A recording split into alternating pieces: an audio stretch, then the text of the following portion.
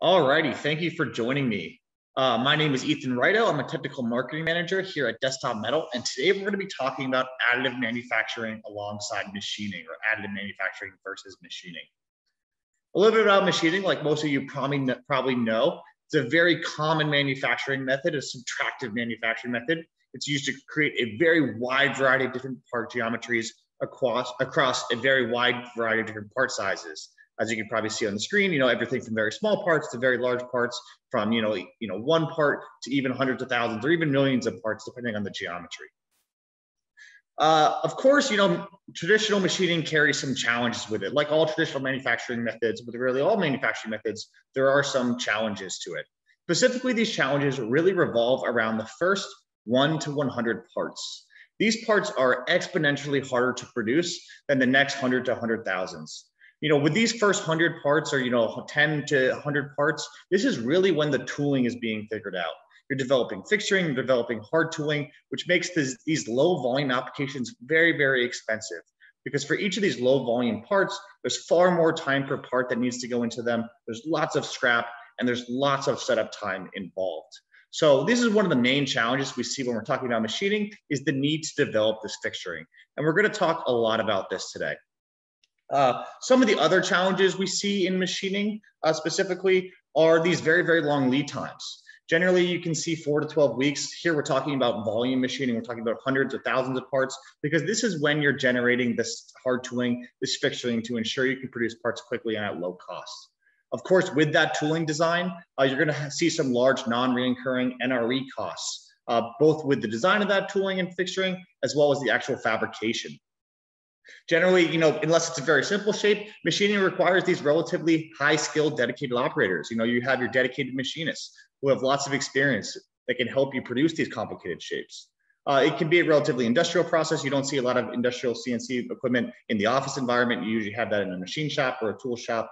And of course, all of you know that I've designed for machining, you do have some geometry limitations uh, specifically around you know what your tools can reach and what your tools are able to produce, as well as what some of the fixturing needs are.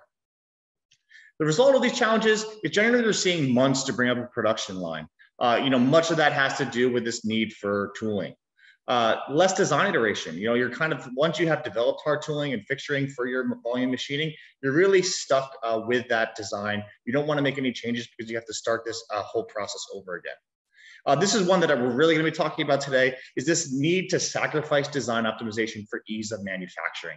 I commonly mention this as, you know, kind of bending to the will of your manufacturing method, where you're, you're much more concerned about, is my part going to be able to be machined uh, quickly and affordably than I am worried about, is this the best design for my application and specifically when we go to volume machining, uh, you generally need to uh, produce in higher volumes to help you amortize that volume of machining fixtures. And while today we're talking about machining, you know, these challenges and results are really true for all traditional manufacturing methods. Whether whether we're talking about casting or powder metallurgy, these challenges and results really resonate.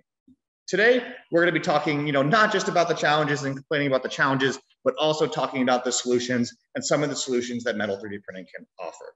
We'll be talking about metal 3D printing as a complement to machining, how you can use it alongside your traditional machining operations, then also as a replacement, and a few scenarios of where we can actually replace our machining operations with metal 3D printing. Uh, and we'll look at both of these today. So as I mentioned, when we're talking about metal 3D printing as a complement to machining, we're really talking about low volume talking about prototyping, jigs, fixtures, tooling, pilot runs, replacement parts, any application where the you know the volume is quite low, and I can simply print uh, and you know maybe as a prototype before we move to volume machining and invest in that tooling.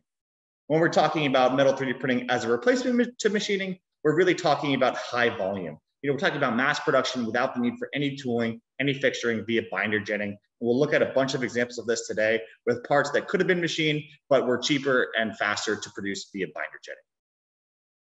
The two printers that we're going to be talking about today are the Studio System. You can see it behind me here to my right. Uh, this is really the world's first office-friendly metal 3D printer. It's great for those lower volume applications that I was mentioning. It's very, very safe for the office. No hazardous powders, no dangerous lasers, no special facilities required. I'm sitting on my desk right here in the office, and the printer runs all day long behind me here. It has these very easy to use support structures. It has an automated workflow walking you through the entire design process and fabrication process, making it very, very simple to use. And it has these easy to change materials uh, currently available for the studio system are 17.4 pH stainless steel, 316L stainless steel, H13 tool steel, uh, copper, and 4140 low alloy steel. When we want to talk about some of the higher volume applications, we're going to be talking about the shop system, which you can see, you know, the edge of here to my left. This is a binder jetting machine that's designed for machine shops. It's great for batch production of end use parts, high throughput. You can produce hundreds of geometries per day, hundreds of unique parts per day, or hundreds of the same parts per day. Uh, it's very, very accessible still, turnkey solution. You don't require any third-party equipment, plug and play. It has very, very high print quality with over 670 million droplets per second uh, since it is a binder jetting machine. And it produces these fully dense isotropic parts that are great for end use applications. So let's jump into it and let's start with talking about metal 3D printing as a complement to machining. The first thing we're gonna be talking about is your prototyping, your pilot runs, and your low volume production. With metal 3D printing, you can print these functional metal parts quickly and affordably during this development stage of design. Uh, you can print, you know, batches to validate the design across multiple units before making this uh, investment and placing these high volume orders. And unlike plastic 3D printing, which is, you know, very common for prototyping, uh, we're no longer just printing to validate form and fit, but we can actually test our part to see how it performs under high loading, high heat, corrosion environments. Not just does it fit into my machine, but how does it actually perform in my machine? Uh, we're calling this functional prototyping, and we can now actually functionally test these parts. Of course, there's also great value in low volume because when we're doing low volume or runoffs or one-off parts, we don't need to bother our machinists or sacrifice our designs. We can simply just print the part, install it in the machine, and we're ready to go. Great example of that is this e-bike bracket that I have with me here. You can see, you know, this is used for holding a motor and a couple bearings and then attaches to a bike for, uh, you know, to, to, convert a bike into an electric bike. You know, rather than machine this part, all I had to do was optimize my CAD file, throw it on the printer, and in a couple days, you know, I have the metal part ready to install onto the bike. You know, what's cool about this part, especially in comparison to machining, is you can see all the cutouts that I was able to incorporate into this part. You know, if I were to machine this part, I probably would have left all this solid because, you know, increasing the number of cuts is going to increase my costs. But since I'm printing, I can remove all that mass. It actually reduces the print time, reduces the cost of the part, and leads to a lighter, highly optimized component that actually makes this a better e-bike. Another great example is this servo, servo-driven timing belt pulley. Uh, this is for a manufacturing environment. The original design that you're seeing on the left there was based on some aluminum extrusion. It then had these two, uh, you know, collar clamps. They were screwed onto either side with end plates. It required some extensive machining uh, and was really not an optimized design. And the, the, the company here wanted to optimize it. So the goal was to create a part that was less expensive to manufacture. They wanted to lighten the weight, and then they also wanted to lower the inertia of this part to actually allow the servos to run faster. You can see that optimized design on the right. You can see the part that I actually have in my hand here. And you can see, you know, a few more illustrations of it on screen here. Of course, this is a new design that's really taking advantage of 3D printing. And you can see those internal ribs and lightweighting features that would just be impossible uh, to machine that are really optimizing this part where we're now able to go from a you know a multi-part assembly down to just one geometry that can be produced faster, more affordably, and actually leading to a higher optimized, lower weight geometry. Another great example of you know using metal 3D printing as a complement uh, to your machining operations is tooling. You know, tooling is generally some of the most expensive and most time-consuming parts to create. Uh, you know, generally it's produced in very low volume. It can be highly complex, and sometimes you need to use these difficult to machine tooling steels that are very, very difficult and expensive to work with. So one great application for metal 3D printing, especially on the studio system, is sim to simply print your tooling. Uh, if you need to, you can touch up dimensions on a two and a half axis mill or lathe rather than having to machine this entire block of steel uh, and you know waste all that material and have that very very expensive uh, you know manufacturing operation. You can also do these new innovative tooling designs that, you know, now we're not limited to the, you know, geometry limitations that are so common with machining, and we can simply print our part and really optimize it for its application rather than for its, you know, uh, manufacturing method. And we don't have to worry about all these limitations of machining. A great example of this is, you know, this custom end effector from our customer, customer Egger Tool and Die. You can see the original geometry on the left very, very simple. It was costing them $216 per set to produce these parts, and they were weighing 1.2 kilograms per part because the parts were designed to be as simple as possible and be, uh, you know, where we're really optimizing it for to be low cost to machine rather than, uh, you know, optimized for its application. On the right, you can see, you know, we have this new optimized design. We were able to actually drop the cost almost in half to just $113 per set, up, you know, 0.8 kilograms. So we reduced weight, which actually removes uh, mass from the end of arm, which actually increases the performance and reduces the wear. And of course, is really just optimized for the application. You can see a couple uh, pictures of it here actually in in uh, in the actual assembly. And of course, as I mentioned before, that reduced weight with this optimized design actually extends the life of the servo motors in this automation assembly, uh, really making it integral to increasing that production time and reducing the cycle time uh, for this end of arm application.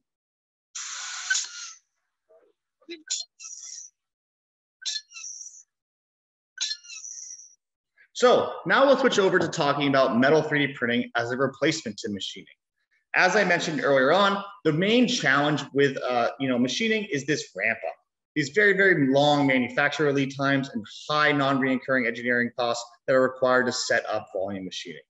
Uh, so while this is potentially very cost effective for mass production, these initial production is very, very challenging. You know, generally, as I mentioned before, you're seeing lead times of 48 weeks. You're seeing these large non-reoccurring engineering costs, and the result is really just a reduction in design iteration and a reduction in design optimization because you're really designing for ease of manufacturing more so than you are for the ideal application. So just to look at this in a little bit more detail and how we'll compare this to binder jetting, what does this setup time for volume machining actually look like?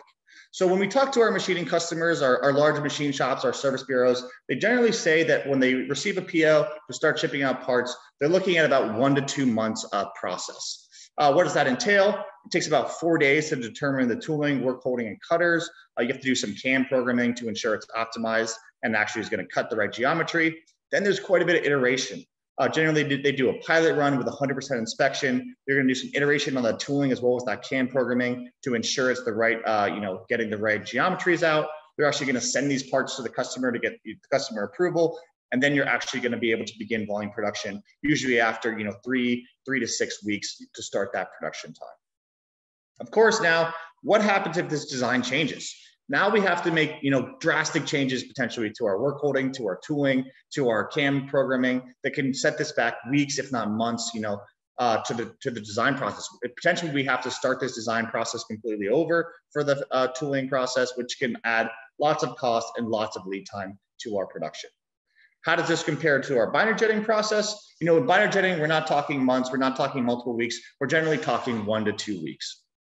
What does our process look like to go to volume production? You generally have your prep. It's about a one day process where you're going to maybe need to do a little bit of support design for printing and sintering, do a little build preparation to actually prepare that build. You're then going to do a pilot run where you're going to actually print, uh, do the whole depowdering and sintering to ensure the parts are coming out adequately. And then you're going to, of course, get that customer approval. Maybe you need to tweak a little bit of support structures, a little bit of the design, but then immediately you can set that printer going and you don't have to make any changes to tooling any changes to fixturing because all we have to do is make changes to our CAD model, upload to the printer, and we're ready to start printing. Of course, now what happens if the design changes? All I have to do is make a modification to my CAD file, load it up on the printer, and we can start printing hundreds or thousands of those parts a week uh, without any changes to any hard tooling. So binder jetting really allows for mass production without tooling across a wide variety of geometries and a wide variety of quantities. Binder jetting has really emerged as this key technology for mass production. Uh, it uses this high throughput production area um, raster-based printing, as you're seeing on the right here, where we're able to spread binder over an entire layer of metal powder in just a few seconds. Of course, compared to a you know point-based process, this is very, very, very fast, allowing us to print you know tens to hundreds of times faster than other printing processes. Uh, we're also utilizing these low-cost established metal injection molding supply chains that allow for a printing of a wide range of different materials. You get these isotropic material properties thanks to the sintering process, and you have these scalable large build boxes that allow for you know hundreds of parts or you know large parts to be produced. You can see the various different production scenarios that are possible. You could do something like on the left where you're doing a mixed volume, where maybe I want to print 10 or 20 different geometries all mixed together, uh, all at the same time. If I have a lot of one-offs that I need to produce, you can do batch production where maybe I need to produce 10 of you know three different geometries or 100 of three different geometries, put them all together in a build box and print them all at once. And you can even do you know this mid to high volume production where we're producing hundreds or thousands of, of the same part per day, uh, mixing all those parts into one build couple examples of this, uh, looking at this power steering joint. Uh, this is a component that goes into uh, a car power steering assembly. It connects the electric motor to the actual steering wheel. Uh, this part's produced in 17.4 pH stainless steel for just $2.52 on the desktop metal production system. So uh, hopefully, as you can see with this process, we're really driving the cost down with binder jetting. Per build on the production system, we can produce over 650 of these parts and produce over 1.2 million of these parts per year. So we're really driving that cost down and increasing that throughput up. Another great example is this lock plug here. This is used for some industrial door locks. Uh, traditionally has been made on you know, uh, a Swiss lathe, but with binder jetting, we can produce this part for, for just $4.71 we produce over 1,000 of them per build on the shop system, over 9,000 per week, really lowering the cost and increasing the throughput. Another great example here is this fuel swirler. This is used for pushing a fuel mix into a burner component. Uh, again, produced in 17.4 pH stainless steel, costs just $4.95, can do over 600 of them per build on the desktop metal shop system. Of course, now here, what if I wanna make a change to the geometry? What if I want to alter the number of vanes? If I want to alter the diameter, all I have to do is make a change to the CAD file, load it back up on the printer, and in a couple of days, I'm ready to you know, produce hundreds of these parts. Another thing that we're going to talk about is that 3D printing really opens up these new design freedoms. No longer are we really just you know, so constrained to designing for our traditional manufacturing methods that are very restrictive, but now we can open up these new design features that are no longer just possible in low volume, but now with binder jetting, we can actually produce in high volume. You know, on the left here, you can see, you know, very, very basic design of a pedal, originally weighing about 1300 grams. It's really being optimized for, you know, very, very easy manufacturing via traditional methods. Then you have your advanced additive manufacturing design. Be able to drop that weight by over half. You can see it's got some webbing, some features that would be very difficult to produce via traditional manufacturing, but are very, very easy for us to print. And now it's not just that we're going to print one of them for some special race car we're building, but now we can produce hundreds of those parts per day to actually go to market with an optimized design like this. You can see another example here. This is an optimized uh, lightweight sensor holder, and you can see I'm able to incorporate all of this, you know, lattice structures into the part to really reduce the weight. Where with 3D printing, it's actually possible to increase the complexity by doing something like this and actually lower the part costs. You know, so much of part cost is associated with material usage. So by reducing the amount of material that's being used, we're actually reducing the costs. And again, it's not just that I can now produce one of these for some, you know, special rocket ship or something like that. I can produce hundreds of these parts per day to actually go into, you know, applications that are being seen every day that, you know, we're interacting with every day uh, on a much lower uh, criteria. So lastly, we're just going to briefly, you know, cover how these parts actually perform. We're using these metal injection molded parts that enable your parts to have quite excellent uh, material properties. You can see on this chart here, uh, if a wrought material like you'd buy for machining is on that top there, our metal injection molded parts are going to fall really just below uh, that curve you can see the L falls right below it. So really just below what you get from a wrought material, but still quite excellent isotropic material properties that allow for a wide variety of end use applications. One important thing to know about sintered parts is that they are dense and they are polymer-free metal. Uh, because of the sintering process, the history of the part and the fact that it was ever powdered metal has been uh, completely erased. The grains have actually grown larger than the original powder particles, and the result is this homogeneous microstructure. Uh, this homogeneous microstructure makes these sintered powder metal parts very, very attractive in industrial applications because you're getting these isotropic material properties.